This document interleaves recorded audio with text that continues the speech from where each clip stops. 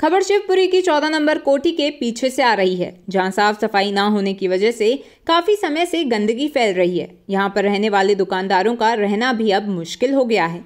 जहाँ कुछ दुकानदारों को डर लगा रहता है कि कहीं उन्हें डेंगू, मलेरिया ना हो जाए, वहीं इस गंदगी से आए दिन कोई ना कोई बीमार पड़ रहा है। यहाँ के लोगों ने इसकी शिकायत कई बार नगर पालिका सीएमओ से भी की, लेकिन अभी तक कोई समाधान नहीं निकला है।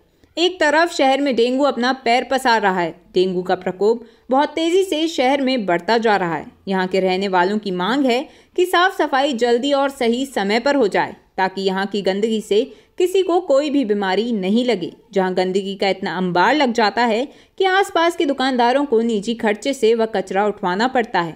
आखिर कब इस गंदगी से लोगों को निजात मिलेगी? ये भैया चौदह नंबर कोटी का बैक एरिया है। ये मेन चौदह नंबर कोटी यही है और इसके आसपास कर्मचारी भवन कर्मचारी भवन है और जन जिला जनसंपर्क कार्यालय है। जस्ट पीछे। बात वही क्या है कि इधर पूरे एरिया में कितना गंदगी है कितनी वो मज़ा रही है आप खुद देखिए पीछे। मेरे पीछे कितनी गंदगी है। आप खड़े नहीं हो सकते लोग बाग यहाँ से निकलते हैं। पूरा बाज़ार यहीं से आता है जाता है और इतनी क्राउड रहता है पूछो मत। और गंदगी इतनी है पीछे के पूछो मत। पीछे आदमी खड़ा होना मुश्किल हो रहा है। इसकी शिकायत कहीं की? मैंने भैया सुबह मैंने एक मैसेज टाइप किया था जिला जो नगर पालिका जो अधिकारी हैं उनको मैंने मैसेज टाइप किया था बट सुबह से कोई उनका वो रिएक्शन आया नहीं कोई रिस्पॉन्स नहीं आया। कोई रिस्पॉन्स ही नहीं है। दो तीन महीने में एक आध बार झाड़ू लगती है कभी कभार। ये चौदह नंबर टूटी रानी मार्केट अच्छा किस प्रकार की समस्या से आप ये समस्या इधर गंदगी बहुत रहती है। इसकी शिकायत आपने कहीं की?